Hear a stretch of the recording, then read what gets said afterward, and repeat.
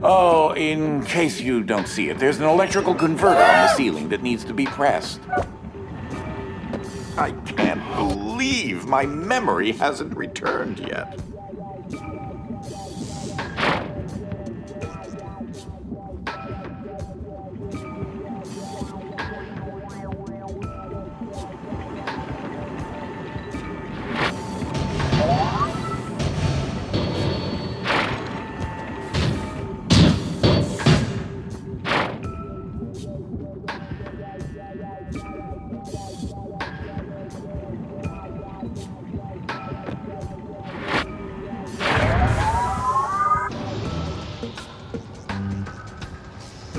Thank you.